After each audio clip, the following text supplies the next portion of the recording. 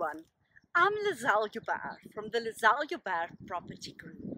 Welcome to Friday Fact. What draw card do you have when it comes to the pricing of your property?